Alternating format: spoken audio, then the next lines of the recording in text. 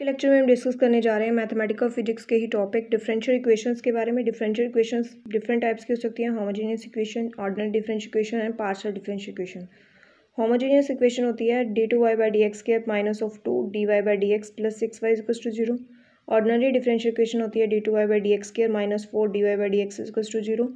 and partial differential equation क्या होती है? Curl two Y by curl X square minus of one by A square curl two U by curl T square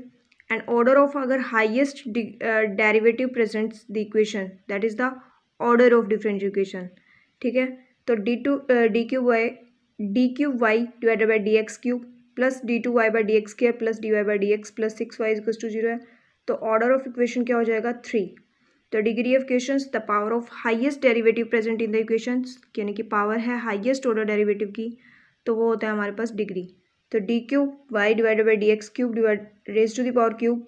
and plus D two Y by D X square plus D Y by D X is to zero तो degree हो गई three order हो गया three तो first order differential equation order one degree one